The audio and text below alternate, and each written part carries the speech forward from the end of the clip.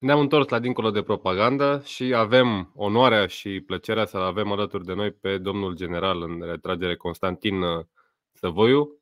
Uh, domnule general, vă mulțumesc pentru că ați acceptat uh, invitația. Am două prenumi la foarte mult. Bartolomeu Constantin Săvoiu, cu atât mai mult că patriarhul ecumenic este Bartolomeu I. Deci, Bartolomeu... trebuie, să vă, trebuie să vă repetăm numele mai des, că să știți că am primit multe mesaje de la cei da. care ne ascultă pe radio Domnule moderatorul, să ne zică mai des cu cine avem, pe cine ascultăm, cu cine avem onoarea da. să intrăm în dialog, pentru că nu, nu vă recunoaște toată lumea după, după voce, dar uh, aveți foarte mulți uh, simpatizanți. Vă mulțumesc Vă foarte mult. Vă mulțumesc foarte mult. Deci Bartolomeu Constantin Săvoiu, da, uh, pe, uh, pe 18 februarie 1945, nașul meu era directorul casei școalelor, urmare așezământ pe vremea aceea că exista care regrupa toți profesori și învățători din România, în toate orașele ea o casă a școalelor.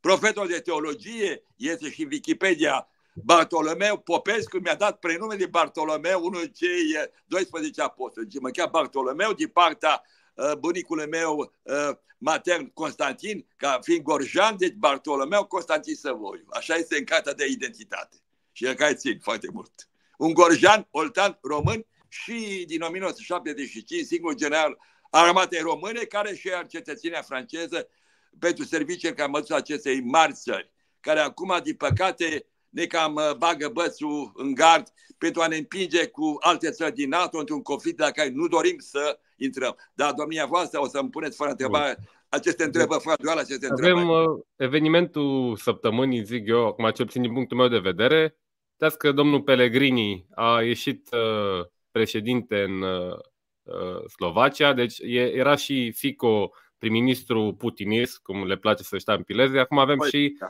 da, nu, da. cum zice preța mainstream, dau seama, da, nu noi.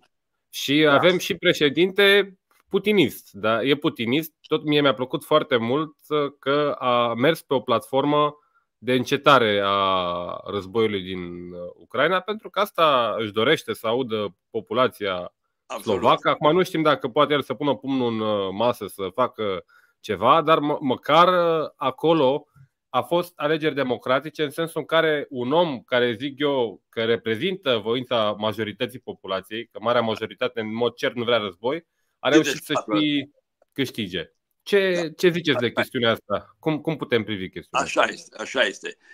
Domnul Peter Pellegrini, căruia de luni dimineață i-am și trimis un mesaj de felicitări, străbunicul lui, străbunicul patern era italian, deci are și sânge latin, de aceea un om foarte energic, a reușit cu 54% de, la sută să învingă pe candidatul atlantist care era deci oponentul lui. Deci actualmente în Slovacia și guvernul condus de domnul Robert Fico, că C se citește în slovacă ț. Deci Robert Fico, Fico, nu ca la Fico, Robert Fico, da, da. împreună da. cu președintele Pellegrini, este, sunt uh, o putere actualmente alesă democratic contra atlantiștilor și așa zișilor sorosiști, care sunt uh, încă puternici acolo, uh, au, au puterea ce se va întâmpla? Fără îndoială, nu e vorba de a fi putinist, este vorba de a apăra, în primul rând, interesele Slovaciei și observăm că ei doresc, mai mult ca niciodată, să nu fie implicați în acest război. De când domnul Robert Fico a fost ales cu trei luni în urmă, știm că a încetat ajutoarele militare care le trimiteau Ucraine, iar acum și șeful statului fiind pe aceeași lungime de undă, vor avea o poziție comună. În continuare știm că opoziția soroșistă, atlantistă, împinsă fără îndoială de servicii occidentale, fără ce ca să facă multe greutăți, dar este ales democratic. Deci n-au ce să spună. Uh, vocea, pa, vocea poporului, Vox Populis, Vox Dei. Eu nu pot decât să mă bucur. Uh, știu că sunt un cuplu, uh, atenție, nici nu se poate spune că sunt de dreapta, pentru că partidele lor se pronunță de stânga. El și-a făcut un partid care se numește Hlas, care s-a rupt din partidul domnului, eh, domnului Fico, acum sunt în coaliție partidului, deci sunt oameni mai degrabă de stânga. Dar aceasta a arătat că nu trebuie să fii contra atlantismului pentru a fi de dreapta sau suveranist sau extremist, poți să fii de stânga pentru că ești în primul rând reprezinți interesele poporului. Și dacă o să-mi permite după aceea o să mă întrebați, am să vă vorbesc de extraordinară așteptare care va fi această alegere europeană și de mare surpriză în Franța, unde am trăit practic 36 de ani zilnic și ultimii 5 ani de zilnic făceam navete, 40 de ani de viață occidental de care în Franța, uh, marea surpriză, Andrei, că Partidul Rassemblement Național, adunarea națională a tânărului și talentatului Bardela, este în frunte, 35% este în curs de abate cu 10% peste partidul domnului Macron, acest uh, fanfan la tulip între ghilimele, care vrea război, război, război. După ce cu una, un an de zile în urmă dorea să facă relațiile mai amicale cu Putin, e bine, depășește toate partidele. E o mare surpriză și asta arată că ne va aștepta un val uriaș suveranist. Ascult uh, regulat câte o oră, jumătate și două pe zi, de dimineață până după amiază sau seara, până pe la 11-12, văd diferite uh, canale occidentale. Nu mă ascund că practic nu mă uit la canale românești, sunt săturat, cu excepția lui Gold FM, fără îndoială. Toate prezic o mare, mare victorie a suveraniștilor, între 30-35% din Parlamentul European, numele suveraniștilor. Pot să vă spun ceva, că parcă li se străpezește gura la toate uh, canale occidentale. Da, din păcate, malheureusement, fortunately, uh, the sovereigns will be will, will win, vor câștiga. Pe asta e vocea poporului care acești uh, acești birocrați de la Bruxelles vor să ne conducă în continuare. Și dacă da, permite, uh... dacă permite, dacă îmi puneți și întrebarea, știu că mă puneți, uh, și, și noi, da, da, sigur. și noi, păi să vă zic ceva, Andrei. Da, ajungem și mai și la noi, dar care, care e situația în, în, în Franța?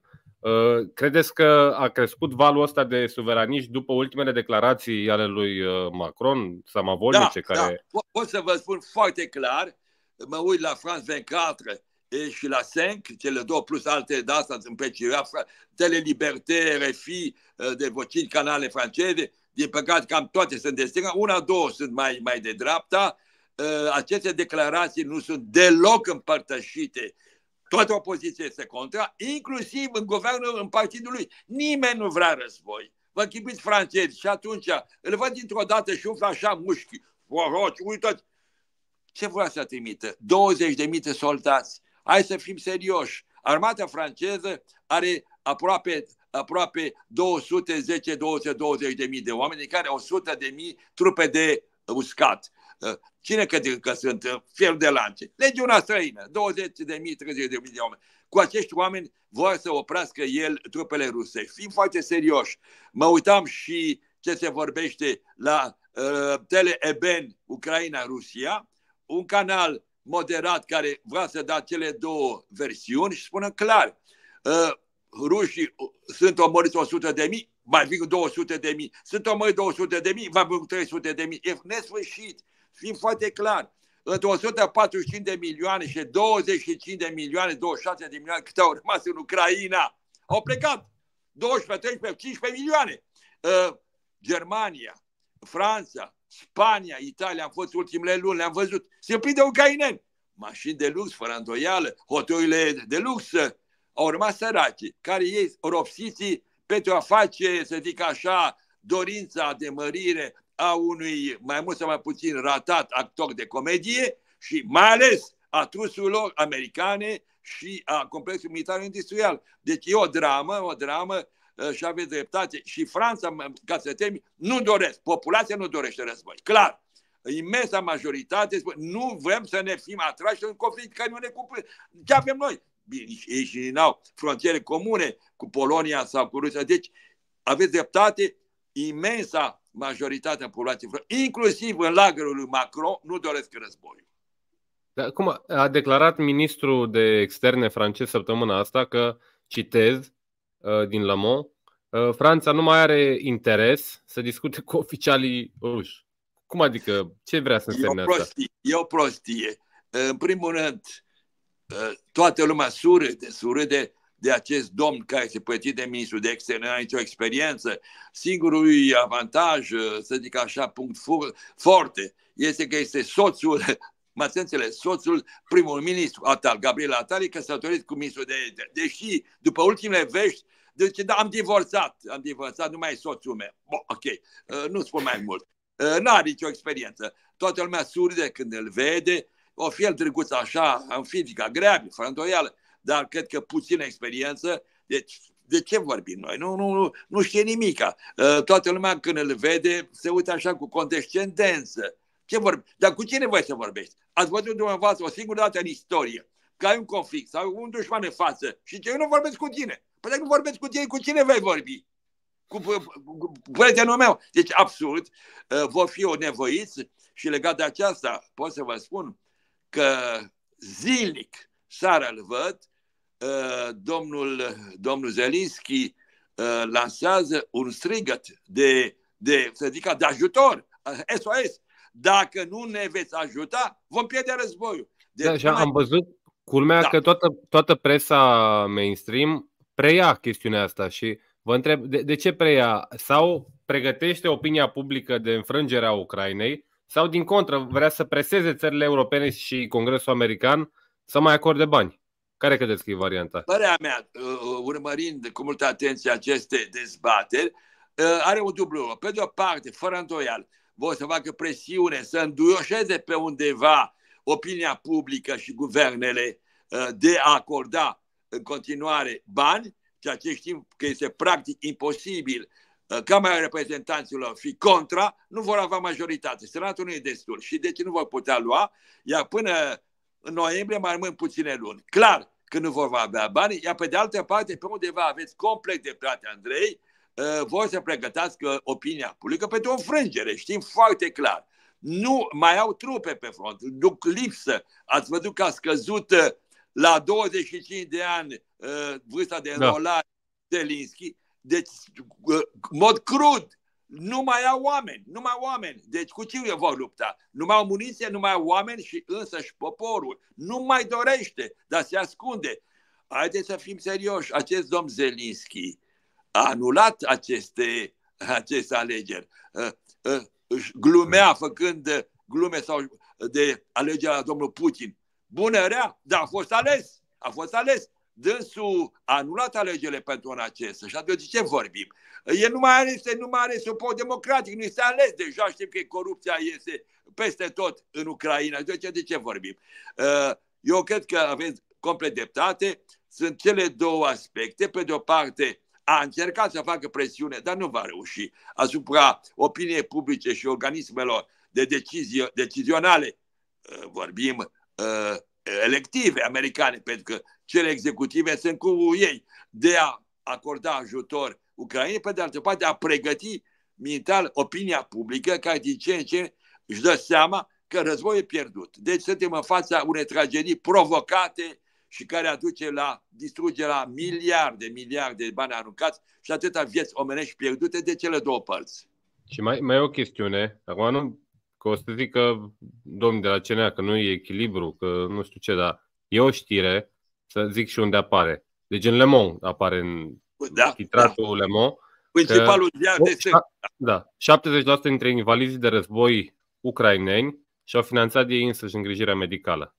Deci a, asta mi se pare o, o chestiune... Uh, incredibil, incredibil. Da. Deci ne punem întrebarea atunci retoric. Unde sunt miliarde? Unde s-au dus miliardele? 200, 250 de miliarde de la începutul războiului. Unde au plecat acești miliarde? Bine, armament, armament. Și restul în buzunarele oligarhilor ucraineni uh, care ieșiți pe străzile Bucureștiului. Nu aveți nevoie să mergeți la Paris, la Bruxelles uh, sau în Spania, unde am fost uh, recent. I-am văzut numai mașini de lux. Vedeți mașini de lux în București? N-ați văzut ce mașini, ce mersane sunt plimbă. Deci unde s-au dus?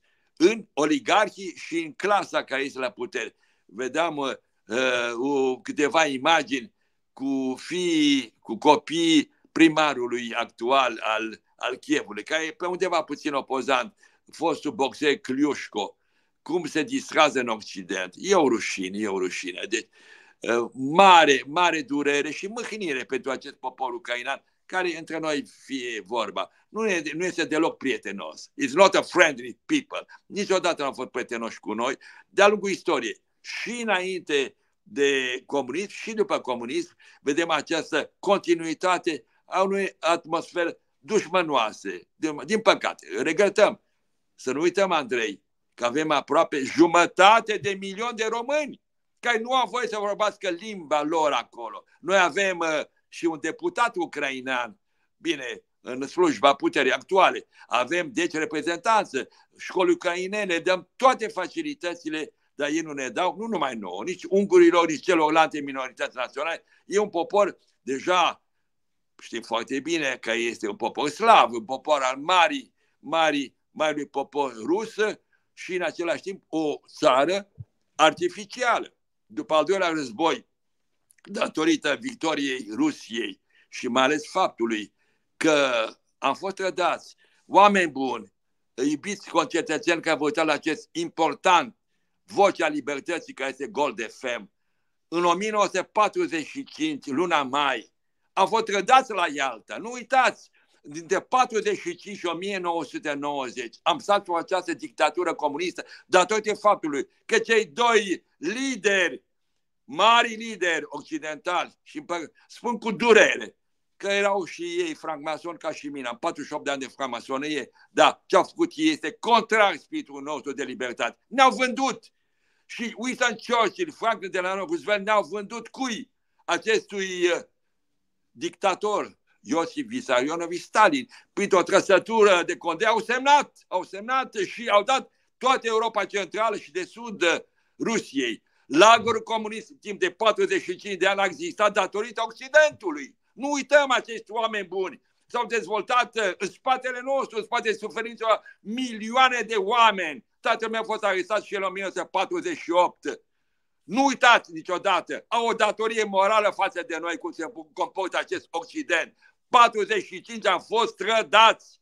De cine? De Statele Unite și de America. Cu toate acestea, visam vin americane. Tatăl meu, după ce a din închisoare, până 62 a fost urmărit de securitate, am văzut dosarul acela Dinule, vin americanii să ne salveze, au venit acum, da, ce să ne facă? Să, să ne oropsească, să ne folosească ca niște servitori.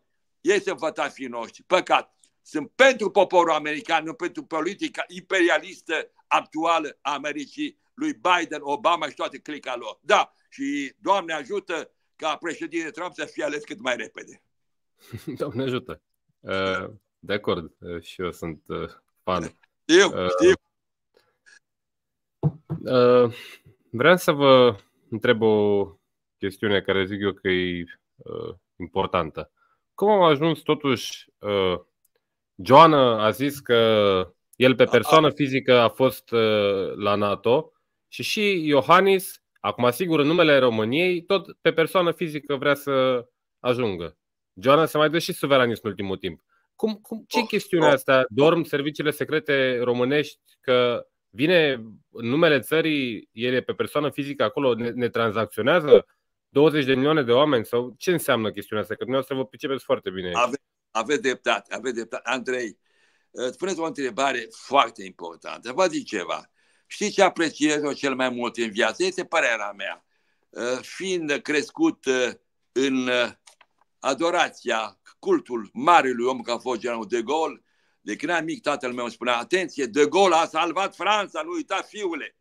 Da? Și nu, ia. După aceea, cel care a fost idolul meu, care am stat 32 de ani alături, este Jacques Chirac.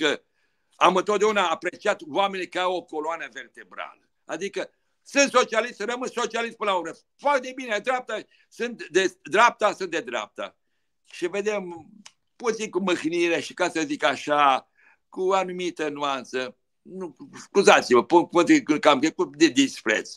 Domnul Joană, uh, până în 1996, a fost în umbra președintele pe care le apreciez. Cu toate păcatele lui, a, a avut o cunoștință a României și toate acuzările lui nu le discut. Însă a pregătit România în mod cinstit pentru a intra în Europa în, uh, în Uniunea Europeană și mai târziu NATO. Este președinte Iliescu. 96 cum președintele Iliescu nu mai este, imediat se duce, face slujbe în fața președintelui Constantinescu. Și patru ani de zile era la picioarele acestui domn.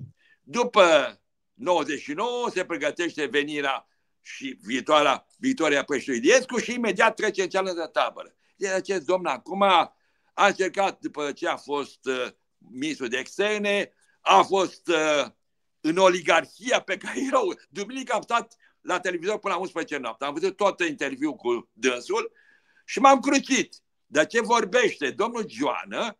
Zice, sunt contra oligarhiei actuale. Dar dânsul din ce a făcut parte? Din ce a făcut parte? Nu a fost președintele Partidului Socialist, nu a fost ministrul de externe, nu a fost unul din liderii acestei oligarhii pe care o critică. Și vedem imediat, după diferite încercări nereușite, după ce a părăsit Partidul Socialist, a făcut un partiduleț care a avut o, o existență efemeră și e pescuit uh, de serviciile americane în 2000, cât, 2019 parcă, nu? Sau 2017. E, și îl vedem acolo în Marea Atlantis. Și îl văd cu multă enfază. A fost luat pentru calitățile mele.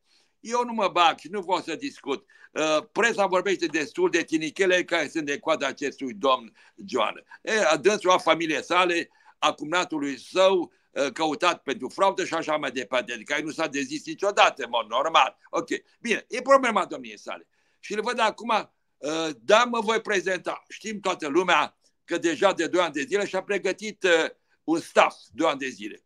Însă, nu spun eu, a urmat după aceea o dezbatere la televiziune și unii comentatori a spus nu are nicio șansă. Știți de ce? Nici o partid nu-l dorește. Nici PNL-ul, nici PSD-ul. Și nu o să poate să facă nimica fără a avea în spate o forță a unui partid. În același timp, să nu uităm că dânsul este un navigator, un navigator. Se găsește acum critic al societății care a făcut parte al acestei oligarhii. Uh, m-a dezamăgit foarte mult. Nu cred nicio secundă că va fi, n-am nici, nicio șansă să fie președinte României și a fi chiar pentru noi o mare nenorocire acest om care, cu tot respectul, știți, v-am spus că sunt pro-american pentru națiunea americană, prima națiune framasonică, uh, cu George Washington, mare maestru, mari loji naționale uh, americane, tot guvernul american, de la Franklin până la Stefan, toți erau framasoni, dar uh, nu pot accepta politica actuală, deci este un valet uh, clar al, uh, al americanilor. În același timp, se umflă în pene ca pe unul, eu șef al NATO. Domnul este șef al NATO. Domnul este diplomat, are o funcție de reprezentanță, clar. Uh, Stoltenberg, da, este secretarul general a reușit să fie acolo, știm foarte bine că americanii au nevoie și de pioni ca să fie foarte docili de ce fac ei. Nu îi văd niciun fel de destin național, uh, să fie sănătos, că cât care e nevoie, ținând cont de, mm, nu e un secret, a apărut în presă, care o boală pe care o tratează, îi urez sănătate, în primul rând asta e mult Am mai că i-a trecut, har Domnului. Haideți să vă spun ceva aceste maladii, eu așa am fost operat de un cancer cu 25 de ani în urmă, uh, da, nu a fost la sistemul limfatic sau circulator. Dar Dumnezeu sănătate din tot sufletul doresc, însă nu-i văd de național și aș fi chiar păcat să avem așa președinte. Uh, nu mi chipă o secundă că PSD-ul îl va, îl va pune, uh, nici PNL-ul. Și atunci, mult zgomot pentru nimic. Uh, da. Dar cu Iohannis la, la NATO, cum vedeți? Uh, nu văd, nu-l vă știți de ce? Pentru simplu fapt că e un personaj acolo care deja este acceptat de ansamblul, aproape ansamblul uh, statelor care contează. Uh, America, în primul rând, uh, Anglia, uh, Franța, celelalte. Este vorba de domnul Mark Rutte. Domnul Mark Rutte e un personaj inteligent, uh, framason și el, dar framason uh, în uh, echipa marelui, între ghilimele, marelui, să zic, uh, făcător de șerpi sau un blițor de șerpi care se numește George Soros. Uh, de domnul Mark Rutte este în cercul Bilderberg, de care fără îndoială nu poate să ajungă domnul Iohannis și are toate șansele. De altfel, domnul Iohannis nu e sprijinit de niciun post. Americanii nu au zis da, nu, nu interesat, deci nu are nicio șansă. M-a mirat să fie secretar general, că a fost deja un român, Deci, mulți zgomot, iar pe nimic repet aceeași frază, mulți zgomot pe nimic, domnul Rute are cele mai mari șanse, e deja, practic, are un binecuvântare americană și a celorlalți și este mai ales un personaj important, are altă suprafață internațională, cum se prezintă, e, nu este omul pe care eu, din punct de vedere moral, sprijin, pentru că știu că această influență negativă în noi ordini mondiale al cui reprezentat este, dar nu văd pe domnul Iohannis uh, să aibă o șansă. Poate o fi comisar european, uh, e posibil, de ce nu? Ca să ne da și nouă un strapontin, e posibil să fie comisar european, de ce nu? De ce nu comisar european? Da.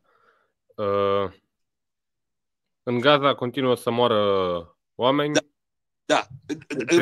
33.000 de civili. Numai un singur lucru, dacă cu, cu tot. Da. da. Vreau să vorbesc de ce s-a întâmplat însă. Am vorbit cu de suveraniști. Dar am uitat da. să vorbim ceva. Duminica a avut loc o mare adunare la Târgu. Da, la, asta, asta vreau, vreau să discutăm mai, da. mai, mai pe larg. Bun, atunci da, hai să vorbim de... Cum, cum doriți? Vorbim de Gaza sau de aceasta? De Gaza scurt, ca să mai avem după aia un timp da, da, mai larg. Să... Vă spuneam că mă uit în fiecare seară la canalele occidentale, printre altele uh, telespectatorilor, auditorilor numeroși, sute de mii, se vorbește de jumătate de milion până la 800 de mii de oameni care vă urmează și în mașină și în cursul zile, deci pălăria jos, așa, uh, mă uit la I24 News, în engleză și în franceză, Israel 24 News, care emite în continuu. Uh, e o tragedie, e o tragedie, nu putem niciodată spune că o viață umană uh, uh, nu valorează mai mult sau mai puțin decât alta. Toate viețile umane sunt prețioase. Însă în același timp să nu uităm că cine seamănă, cine seamănă vânt, culege furtună. Din păcate, în 2009, majoritatea populației din Gaza a votat această organizație teroristă, criminală, că este Hamasul. A început acest război urmare a măcelului incredibil care s-a întâmplat în 7 octombrie anul trecut. Bun. Ce se întâmplă acum? Uh, s-a descoperit uh, un oraș, un oraș întreg, timp de aproape 20 de ani, din 2009 până în 2023, au săpat un oraș. Un oraș întreg este în Gaza. A fost lăsat, a fost alimentat pentru că Israelul intra din când în când și pleca, îi lăsa de capul lor. Și ne dăm seama că este atât de puternică această implantație teroristă. După șase luni, încă au putere, au batalioane încă care nu sunt distrus. Și atunci, ce se întâmplă? Toată populația s-a masat spre sudul uh, fâșiei Gaza, la frontiera cu Egiptul. Egiptul, prin uh, vocea uh, președintelui ales de curând, mareșalul El-Sisi, pe care îl stimez foarte mult, nu va dori o secundă să permite ca niciun refugiat uh, palestinian să treacă dincolo. De ce? Ei au deja probleme în Sinai. De ani de zile se luptă cu teroriștii stat islamic și celălalt teroriști care sunt în Sinai. Deci nu doresc alt teroriști care va veni printre cei care putea fi refugiați. Și de aceea, ce se întâmplă? Într-o paranteză, a apărut uh, uh, ieri uh, un triplu, uh, triplu articol semnat de Macron, de regele uh, Abdallah al doilea al al Iordaniei și de uh, președinte al Sisi. și fac un apel către Israel de a înceta imediat război. Este o aberație. Oameni buni, nu au terminat în acești un milion și jumătate de refugiați care sunt acum masați în sud, sunt plini de batalioane de teroriști. Înseamnă, cum a spus uh, președinte, a spus ministrul de apărare al Israelului, Ioav Galant, când aveți un incendiu, la stins 70%, nu mai. Vă opriți? Nu lăsați restul, lăsați flocările să comangă? Nu. Sau stingeți tot incendiu sau lăsați, sau incendiu vă va distruge uh, locuința. Deci numai 70% din incendiu, spune domnul Yves Galant, uh, ministrul de apărare al Israelului, că este Nu se poate. Dacă se opresc acum, își vor reface trupele din nou, vor profita de această acalmie.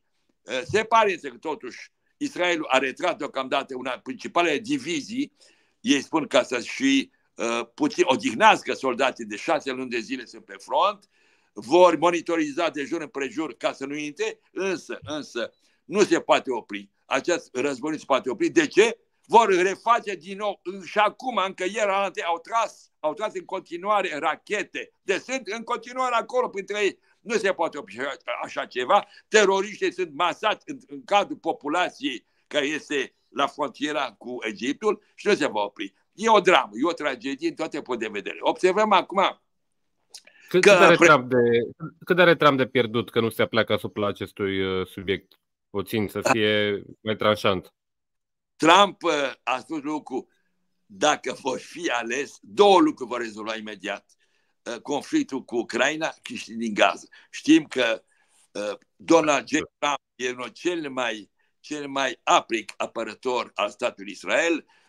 Faimoasele tratate au fost semnate sub președinția lui cu Uh, cele patru state israeli, uh, arabe care au semnat, s-au adăugat celelalte două state care existau înainte. Este vorba de Iordania și Egipt, avem încă alte patru state. Voi fi în continuare, voi opri acest conflict pentru că voi lua măsuri clare ca Hamasul să fie distrus. Se vorbește după aceea de o forță internațională panarabă, panarabă a statelor arabe care doresc să impună acolo, va fi fără îndoială. Există un plan apre Gaza, după, după Hamas, dar deocamdată ei trebuie să termine cu această cancer care a intrat în această populație. Din păcate, în continuare, Hamas recrutează acum mii de oameni. Știți de ce?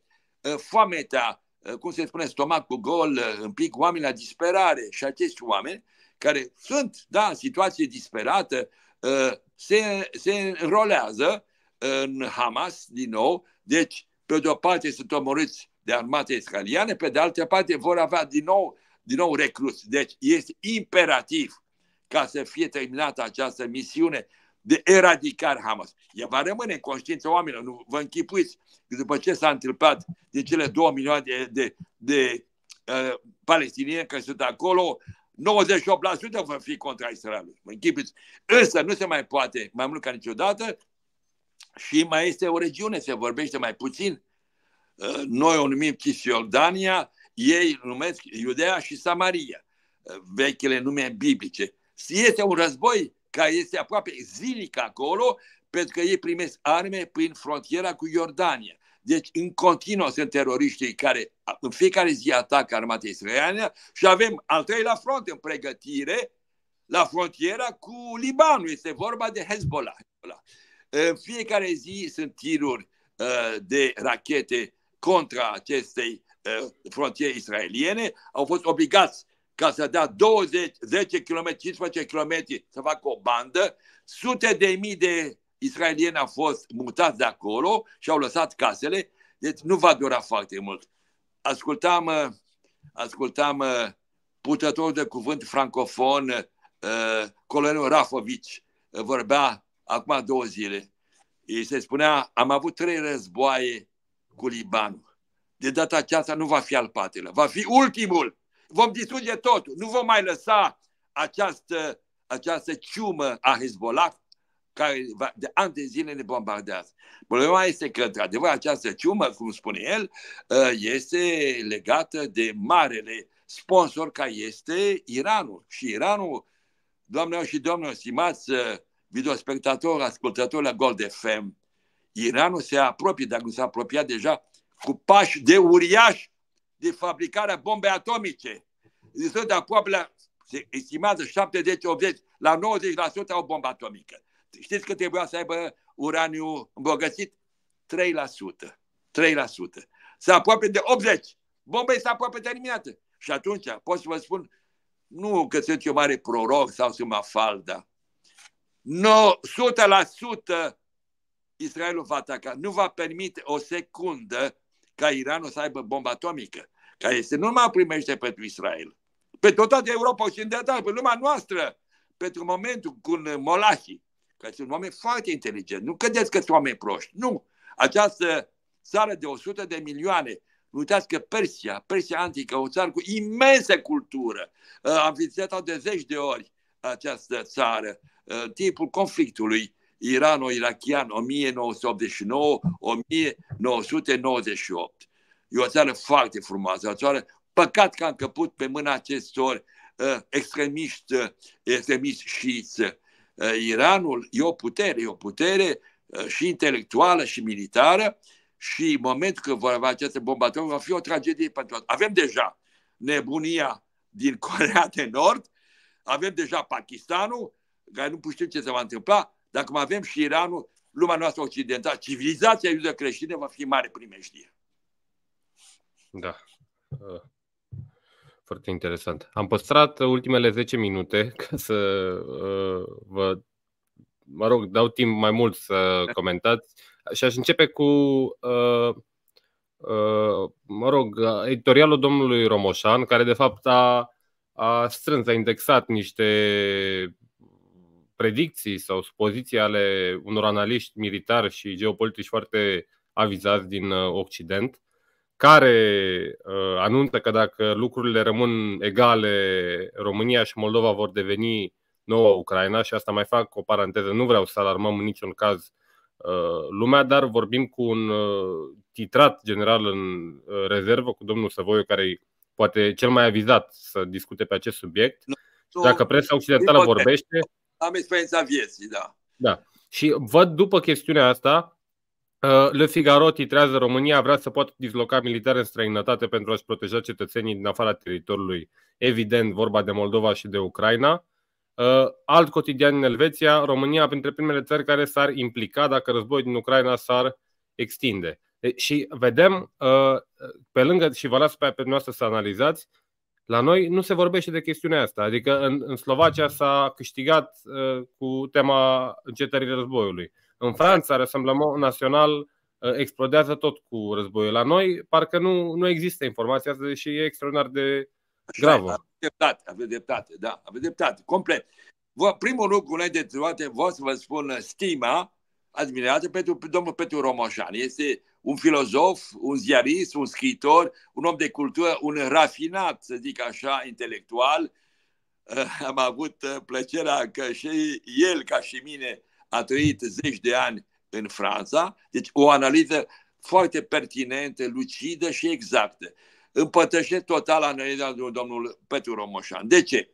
Eh, suntem în fața unei extraordinare imposturi în care se încearcă, cum spune, cum spune omul așa din popor, să bagă bați un gard, cu orice preț să fim împinși într-o aventură militară. Dacă în Franța avem uh, vocile Rassemblement Național, este altă, altă democrație cu toate păcatele ei, dar încă funcționează, măcar parțial. Dacă în Franța avem, dacă avem în Italia, putem avea în Germania, am uitat să vă spun că alternative fiu Deutschland e al doilea partid. Al doilea partid acum pentru europene era PSD-ul, PSD-ul german, era creștini democrați și alternativ Fidocia era al treilea. E pe locul doi alternativ Fidocia. Sunt partide care se opun. Avem în Suedia, avem în uh, Olanda. Mică paranteză. Uitați-vă forța acestei noi ordini mondiale. De trei luni de zile, domnul Gert Wilders uh, a câștigat încă două partide au majoritatea, e bine, îi împiedică prin toate subterfugile să facă un guvern de coaliție de dreapta. De dreapta e majoritară în uh, Olanda și nu poate guverna.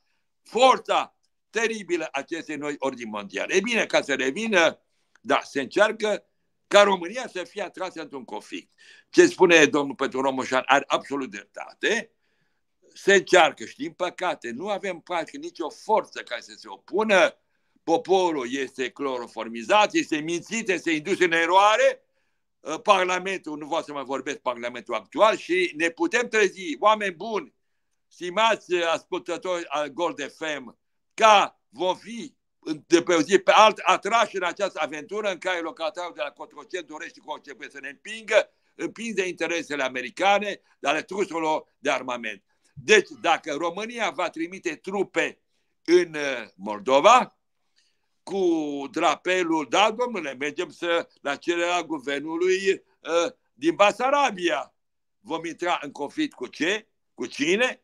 Cu Transnistria și imediat cu trupele rusești. Nu dorim acest lucru, este o ipoteză dramatică, se încearcă și nu e imposibil, de aceea Gold FM conducerea Gold FM, sunt absolut sigur, oameni care dau spația ca dumneavoastră, eu însumi și majoritatea populației. Nu ne lăsăm antrenați. Se dorește să, ca trupele românești da. să meargă așa pe șes în Moldova, ca să se fie de cu avem...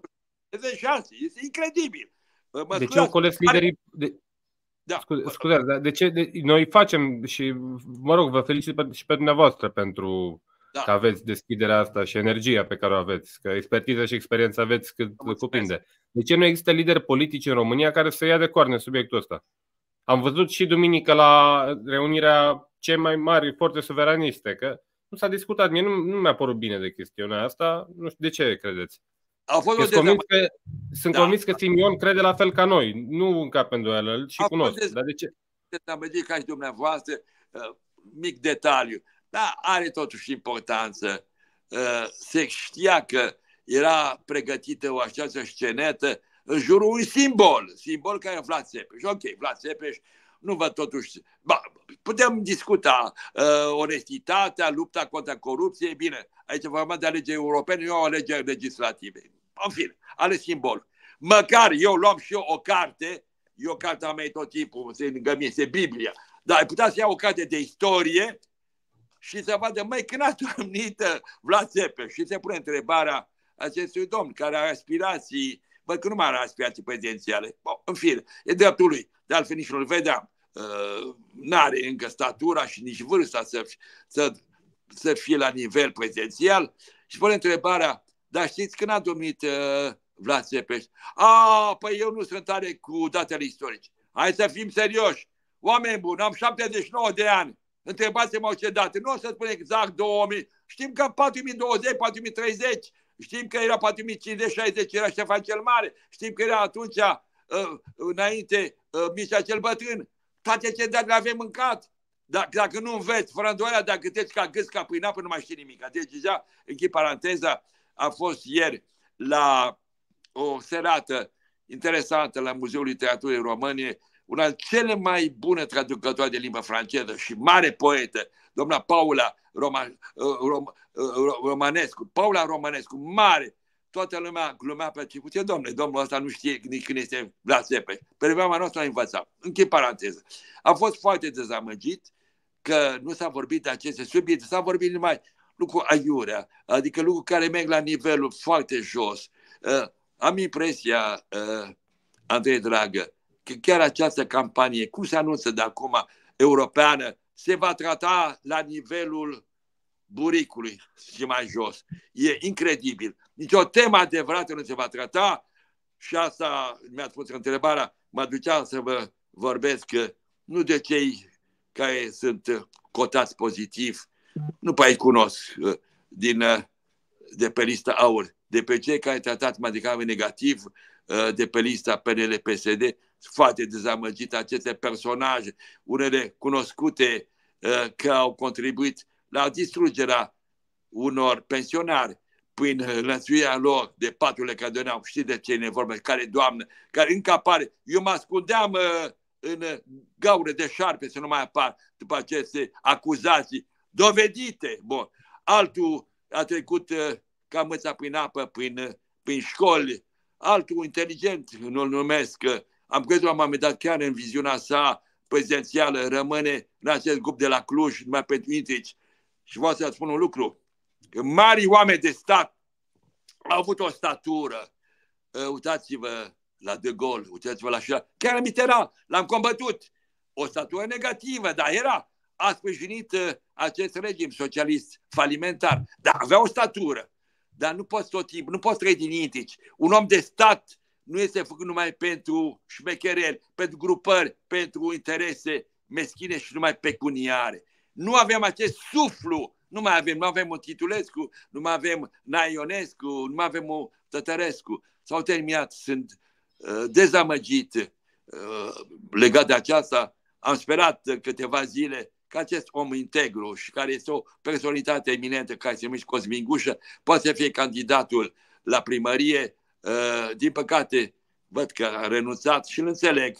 Și am impresia, Andrei, că vom fi din nou conduși de un personaj care oricum numai prin onestitate nu strălucește. Știți de ce este vorba? Când îl văd în spectacol că s-a dat înconjurat, hai, fim serioși, fim serioși, acești sunt candidați. Încă o dată Bucureștiul va continua să fie murdar, prăpădit și lăsat în izbeliște, însă va fi mai sursă de venit pentru ceilalți. Pentru a reveni, da, aveți dreptate, uh, întăresc ce spunea domnul Petru Romoșan, din punct de vedere al suveranității noastre, al independenței, a vieții noastre, popor. Nu vrem război. Și voi termina spunându-vă că am făcut editorialul meu de săptămâna trecută, ce se poate cheltui, ce se poate face cu 100 de miliarde de euro, lucruri enorme în această Europa, în această uh, extraordinară șantier care ne așteaptă. Oameni buni, stimați concetățeni, jumate din școlii românești nu au wc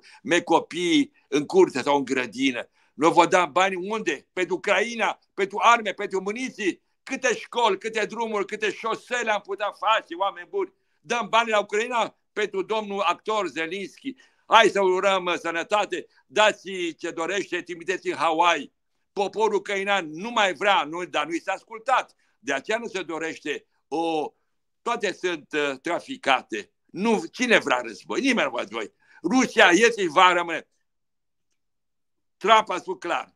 Voi lăsa imediat ca Rusia să-și rea teritoriile rusofone, a recunoscut chiar uh, Zelinski. Da, populația din Donbass este mai degrabă rusofon. Fim serioși. Donbass, Donetsk, Lugansk, Ucraina vor fi rusești cât va exista lumea. Deci ne cramponăm absurd, omorâm mii de vieți umane pentru a face numai plăcerea unor trosuri al armamentului american și al celor din Europa. Încă o dată, e o rușine. Oameni buni, ascultați Gold FM, răspândiți Gold FM, sprijiniți această extraordinară echipă în jurul Cosmin Gușă, pe care îl stimez enorm și care, schimb puțin de subiect, mă cu tristețe. Acest om deosebit, președinte al Federației de Judo, care este atacat în mod nedemn și nejust de un personaj care am câteva mai dat se dădea și prietena lui Putin, cum, domnul Vizel sau cum se numește, nu? Da, da, da.